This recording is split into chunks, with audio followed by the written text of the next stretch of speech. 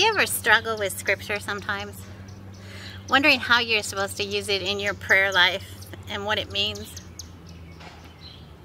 Our scripture today, continuing our journey through the Sermon on the Mount, as we approach the end, have some passages that are difficult because they don't line up neatly with our understanding of who we want Jesus to be.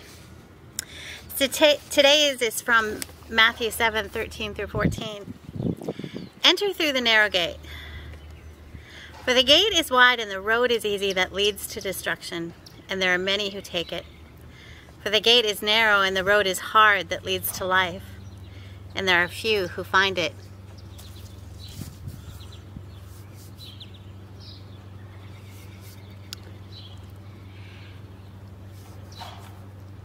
So I invite you to close your eyes,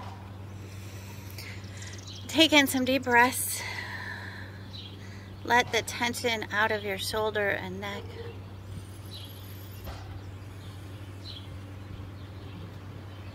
And just breathe in.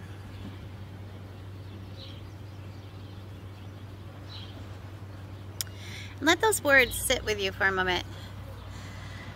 The road leads to life.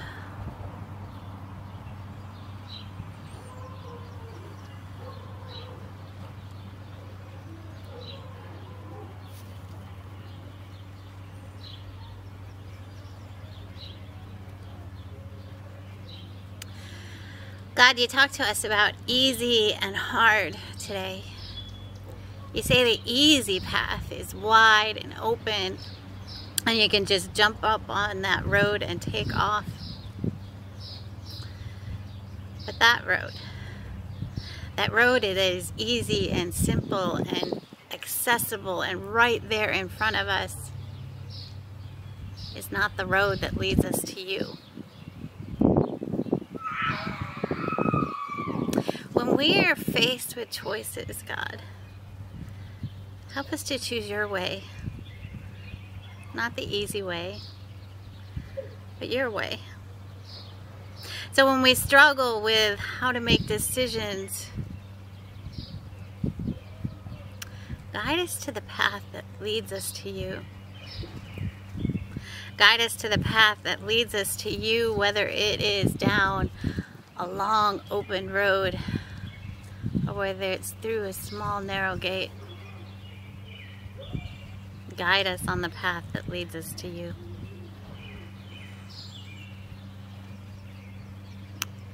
But God, sometimes it is so hard to follow you. How do we know when it's the right direction to take? When we think about the things that are going on in the world right now, where it doesn't seem like there's an easy answer. So even the hard answers, we struggle with which way you would lead us.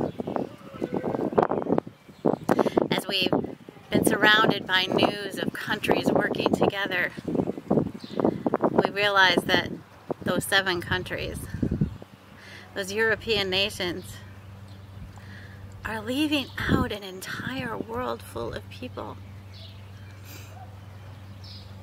they chose a narrow way. But their narrow way excludes so many that have concerns and issues that don't even cross those leaders' minds. So show them that that path that they are on, that path that they are on leads to destruction. It leads to death. The death of the people that they aren't even considering. Holy God, guide us, direct us, show us through that narrow gate onto the road that leads to life. God, we lift up to you the people and places we know that are struggling today. We lift up Mongolia and Argentina, Colombia and Costa Rica, Paraguay, Suriname, in Uruguay. They are having outbreaks of COVID that are that are not easily controlled. and vaccines are so far off. And oh God, we ask you to be with the people of Rockton, the Rockford area, as they struggle with that massive explosion in the air quality. We ask you to be with the firefighters and first responders who have been working hard to put that explosion and fire out. And we ask you to be with the people suffering through drought right now. With this climate change, it means that this drought is hotter and harder. And so, God, we ask you to show the people that can make a difference, the people who can change the road we are on to destruction. Show them the path, the road that leads to life. Guide them to make changes. And oh God, we lift up to you the people on our hearts right now. We have friends and family who are grieving. We have friends and family who are sick. We have friends and family who are coping with addiction and loss, and we ask that you surround them with your loving, strengthening arms that you can show them the road that leads to life. And God, we ask you to be with our families that are celebrating, celebrating the new life that is about to be born, celebrating the new marriages that are about to take place.